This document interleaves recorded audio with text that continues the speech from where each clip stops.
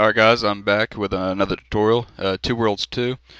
Uh, this is just going to be one for increasing your level on it on for online and you can do the you can use the same thing for single player if you want to. It'll just be a little different, not that much at all, but most of it will be the same. This will also be a foundation for uh, the rest of Two Worlds 2, like what else you can mod on it. But I'm just going over the basic uh, increase your level, which will give you the skill points and attribute points. It for however much higher level you go. All right. So, anyways, we're gonna do is first go to uh, this uh, attribute skill page with all your skills and whatnot on it, and you're gonna uh, write down or memorize if you can. If you're a G like that, memorize the left side of the experience. You're gonna see uh, EXP. Memorize the left side and and write that number down, preferably. And then um, after you do that, pretty much uh, that's all you're going to need for this tutorial, just for your level. And uh, after that, you're just going to save your character, which is as simple as uh, pretty much pressing the quit button and going out. And now that I am on online mode right now, I'm in my village, so that's that's all you got to do, and uh, we got to transfer it over to PC. So I'll see you there. Alright guys, so now we're on the PC. Now what we need to do is get our save off of uh, your hard drive, USB, whatever you used, whatever you chose to transfer your save. Uh, most people should be good at this if you're watching this. If you're not, that's fine. I use Xport 360 with the transfer cable. You can use USB or whatever, but I use Xport 360 and that's what I usually use. So what we're going to do is go to Two Worlds 2 folder um, and get this file out for a multiplayer character. You're going to get this file out and uh, just drag it to your desktop would be the best. Uh, yeah, sorry. I already had one previously. Don't worry about that. You shouldn't get that. But now that you see I have my Two Worlds 2 character uh, file, NPC file here. So now what you're going to do is uh, you're going to open that up in Modio. Alright, so what I do, uh, open Modio up and just drag it on there. File contents and extract. Again, I use Modio. You can use whatever you want, but Save it to the desktop, same same name, npchar. Alright, you're good. As you see it's saved right there. So now, what you want to do is uh, you got the MP character file. Now what you need to do is get the, another file out of the npchar file. Alright. So what you're going to do for that is offzip, packzip. Alright. I'll provide the link. It, uh, I, mean, I already did it for uh, for um, Bioshock 2 tutorial, so no problem. So now, um, uh, for the input, you're going to have your npchar file. Ah, there it is. And now for your output, we'll do a desktop because it works better desktop. Uh, you, what I found is that uh, if uh, you do it with the in, into a folder, it usually messes up somewhere or something along the line, so I just always do it to the desktop. Uh, leave all these the same. You're okay with that. And I usually just do show console. Makes it go a little faster. And not that much, but still a little. You'll be able to see. You should get something like that. It'll be real quick. Alright, and that, that's going to get your file that you need out of there. This is going to have your stats on it and all, all that good jolly stuff. So now you can finally open up your hex editor. I'll provide you with a link to everything I use, so don't worry. Alright, so now that you get ugh, sorry, my your hex editor open, what you gotta do is just drag that file or open it up in the hex editor. Now you see that I'm using Hex Workshop. I just opened the 00001c.dat file in there. Now, if you get something other than that when you, you extract it, then you fucked up somewhere. I can't tell you where, but you fucked up somewhere. Make sure you need to get that file exact. All right. So now that you got that file, uh, it's pretty much easy runnings from here. But um, this is going to be somewhat like the Bioshock 2, or the Oblivion tutorial almost, where you're going to have to byte flip. So uh, what now you're going to have to do is recall that number that you have. Right, right here you see that I have a picture of it. My number's 3775, you can read. Alright, so now what you got to do is convert that to hexadecimal. Alright, uh, Hex Workshop has a base converter in it, but you can go to Google and find one. It works the same. So what you're going to do is uh, for you're going to convert this decimal. So my my number, for example, is 3775610. All right, that's my number. So now that you have your number converted to hexadecimal, you're going to input this, you're going to byte flip it first and then find that that byte flipped number. Alright, so the way you do this is, for those that don't know how to byte flip, it's like Oblivion. If you know that, then you're good. But if you don't, then here's how you do it. You read it backwards in pairs, alright? I'll show you this a little closer. So you see that I have 7, or 00399C7A, alright? So what we're going to do is read it backwards in pairs. Here you go.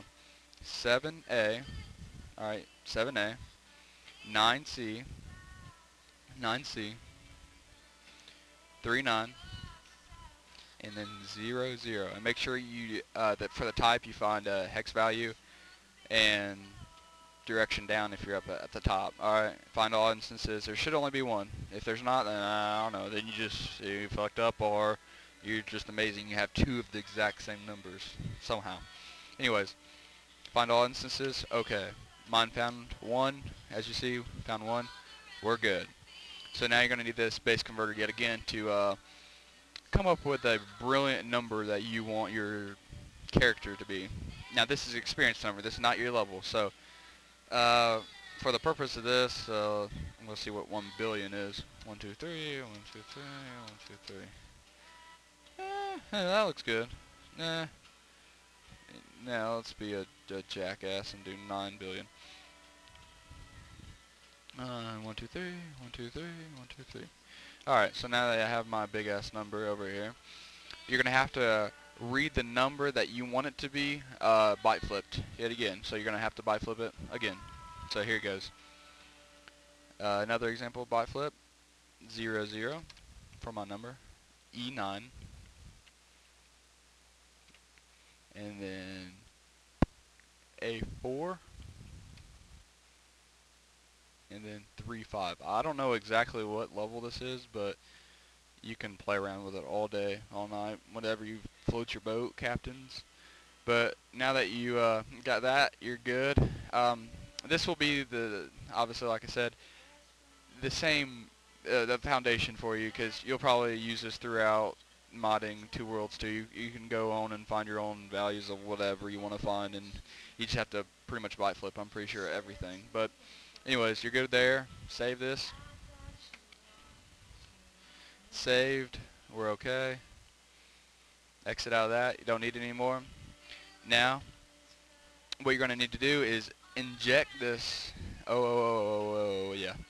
That you're going to need to inject that back into your MP character. And what you're going to, how you're going to do that is with PackZip. There should be a little tab up here called PackZip. You shouldn't, if you, again, watch the Bioshock 2, you should already know.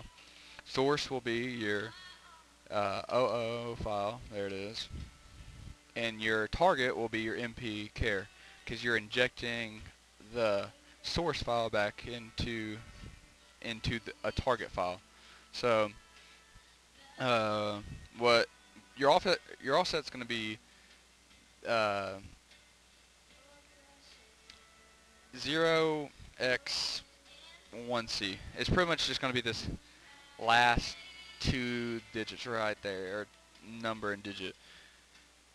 Alright, and then um, once you got that, leave everything the same, you're good. It should say successfully written, bam, you're okay. Don't need that anymore. So now, you have this MP character file. Alright, and now what you need to do is resign that. Because it has a checksum on it and you need to resign it. Alright, so what you need to do, real quick, is uh, get your resigner out. Alright, Here's the resigner. Bam. Fairchild, thank you for making this. Alright. You see that? You're good there. So now uh, what you can do is just drag it in there. Just drag in the DOS command prompt right here. And not press enter. Alright, don't do that. Take it back. What you're going to do is open up command prompt.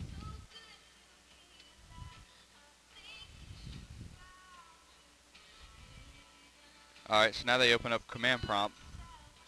What you're going to do is uh, press CD, and that'll be change drive. And then what you want to do is, the only downside of this, is uh, it, there's probably a better way to do this, but I just been doing it this way, so that's why I do it.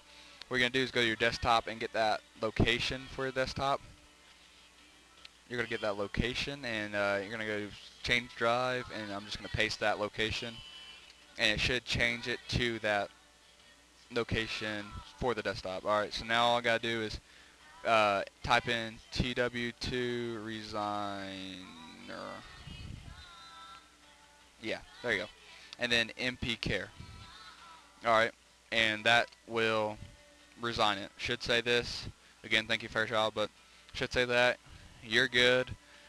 Um, now you don't need to use this anymore for right now.